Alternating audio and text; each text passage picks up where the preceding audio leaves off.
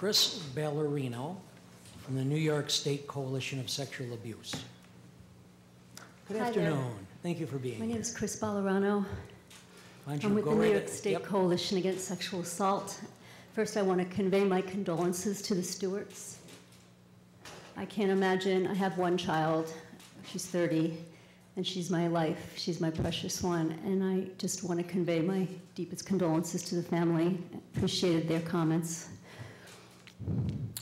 I, Christine Ballerano, familiarly known as Chrys, am giving this testimony today from a place of respect, compassion, and deep empathy with people who've experienced interpersonal violence and, their, and other traumatic forms of crime.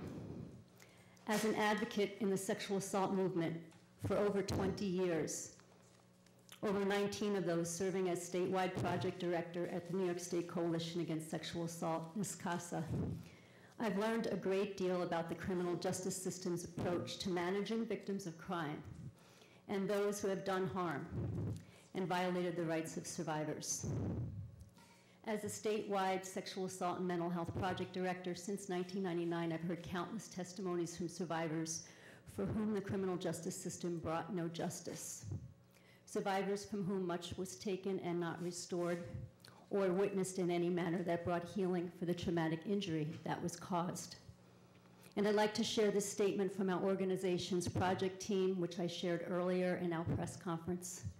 Too often, the actions public officials take in the name of crime victims, particularly in the name of survivors of sexual and domestic violence, do not line up with the actual needs and desires of the majority of survivors, especially survivors from communities that are at most risk, most at risk.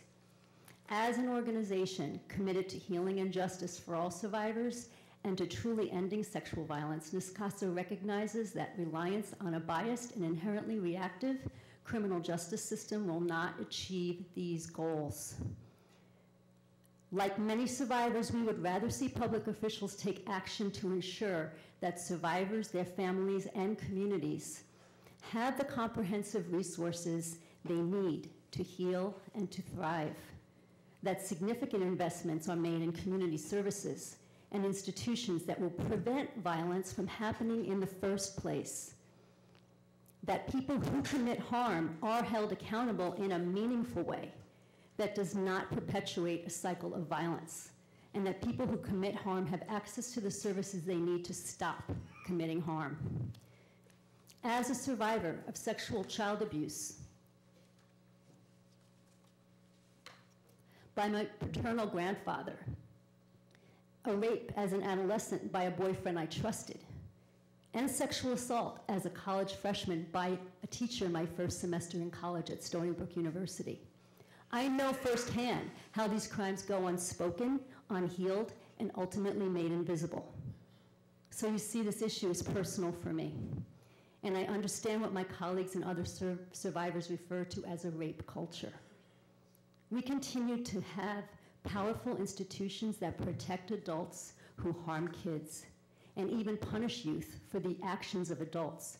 Although I know of efforts being made in some areas of service provision to be more trauma informed, there is still a lack of cultural competence and far too great a propensity toward punishment and different forms of violence when a person is seen as non compliant. Locally, we all saw the tragic results of reactivity in the heartbreaking case of Dontay Ivy. We see this violence play out in victim blaming scenarios where bullying, blaming, and harassment run rampant, with people savagely disrespecting other people. At times, this violence is even labeled as appropriate behavior by institutions set to maintain the status quo. As a child, I didn't tell anybody about my sexual abuse because I didn't feel I had the power to speak up against my elder. What I do remember doing, though, again and again, was run to another elder, my maternal step grandfather, James Rearer, who I trusted implicitly and who loved me unconditionally. His love and protection of my spirit was one of the greatest assets of my childhood development. Grandpa Rearer was also an ex felon from before I was born, having as a minor driven the getaway car for his older brother's failed bank robbery in Ohio. I didn't know this fact about him till years later after he had passed away.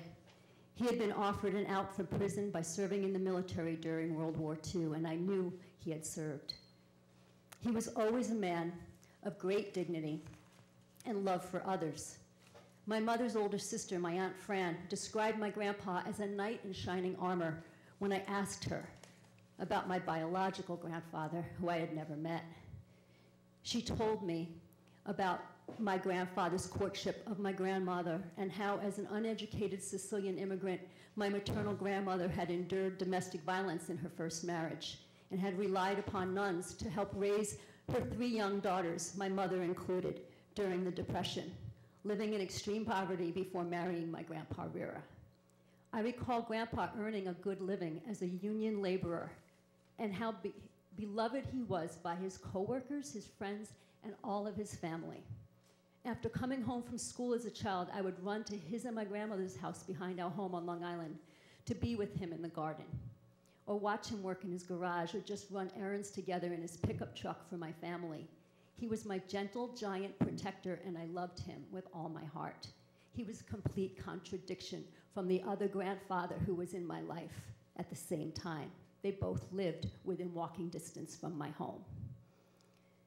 He was my, his elder brother, my Uncle John, was also very special to me and taught me how to fish as a young girl, treating me as a real person, not just as a little girl, giving me confidence in myself at a time when I was most vulnerable. I had the, the highest respect for these two men. I had no idea that they had each been convic- convicted of felony crimes as young men.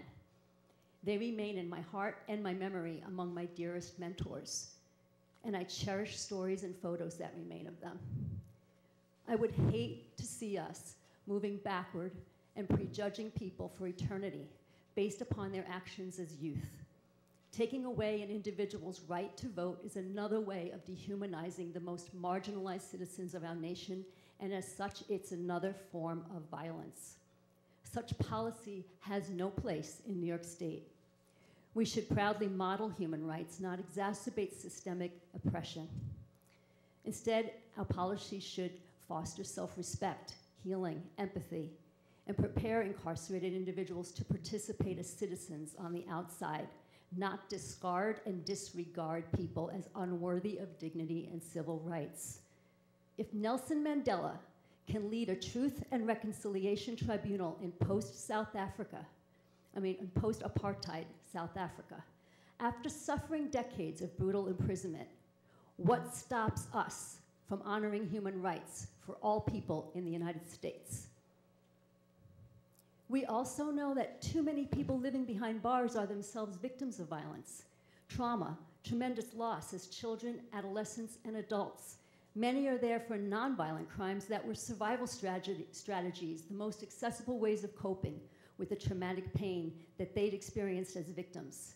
These young people, like some of us in this room, may have used self destructive behaviors like drugs, like alcohol, to get by, to survive, resulting in these survivors being criminalized for their coping strategies. We also know that those who, were served, who serve the longest and harshest sentences for these offenses are the poor and disproportionately people of color. Those early traumas, known as adverse childhood experiences or ACEs, are often exacerbated by the brutality experienced and witnessed while in prison. And the racism and implicit bias expressed in mainstream culture throughout so many of our institutionalized systems, including our healthcare system. I have visited incarcerated survivors, and I know from what I've seen how broken this system of mass incarceration is from families and individuals seeking healing and or justice. I recall visiting with a female survivor of domestic and sexual violence in Columbia, Columbia County's jail in Hudson while I was working as a rape crisis counselor at the Reach Center of Greene and Columbia counties in the 90s. She refused to allow me to tell her family she was in jail because she didn't want them to see her that way. The shame she felt about them seeing her behind bars was too great for her to ask for support that she desperately needed and as a crime victim, the subsequent isolation did nothing to help her heal from her trauma. Her crime had been a relapse of cocaine use while she was on parole. Again, self medicating because she'd been raped. I could go on about special housing units for survivors, of sexual assault while in custody and how this practice is the equivalent of torture. But I'll stop here because I'm about out of time. I would like to thank you for listening to my testimony and NYSCASA's request to recognize the right to vote as a human right, that all people be counted as human member of our troubled society, a society in great need of healing and restorative practices across all of our human service institutions. This criminal justice system being just one. Anyone working with people needs to think of them, think of, needs to think of themselves as human services. Or we endanger others by perpetuating pain and trauma instead of providing some form of corrections, restoration, and healing, which we state is our intention. Increasing parole rates and granting voting rights are positive steps in that direction. Attached to my testimony, you will see the new vision for crime victims that the Downstate Coalition drafted last year and that NYSCASA wholeheartedly supports as well. I'm happy to answer any questions you might have as a panel or as individuals. Absolutely. Thank you for being here, and um, thanks for sharing your story and turning it into something, uh, working over your career now to help other people. That, that's really, I'm fortunate I didn't have to experience that, but thank you for standing up. Appreciate that. Now I have a couple questions.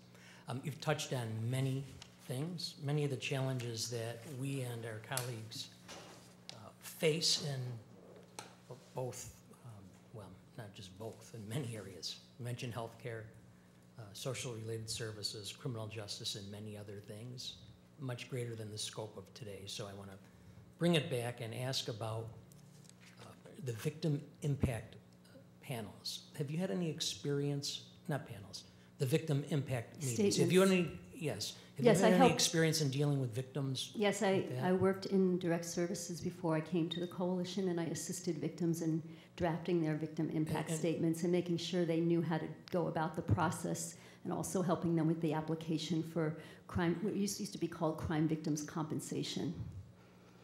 Is that valuable to victims? Absolutely. It is valuable. Is it adequate? I don't think it is adequate, no. How could it be better? Well, I'm a strong believer in restorative practices. I really do believe that that's where we're moving as a culture very slowly at, at, the, at the rate of a glacier, perhaps. But I know in the college sexual assault area in particular, which is one of the projects I supervise at NYSCASA, and, it, and because I was violated when I was in college, it was a, I was actually heading that program before we hired Michelle Carroll, our project director. She's been um, trained in restorative justice practices, and she's actually been working with the New York State Department of Health to help them better understand how restorative practices and restorative justice models can be utilized in a campus setting. Because in often, often, so many cases, survivors really want that more relational model. They want to be able to not necessarily um, have the person who did harm toward them incarcerated, but they want them to understand that what they did was wrong, that what they did was violence.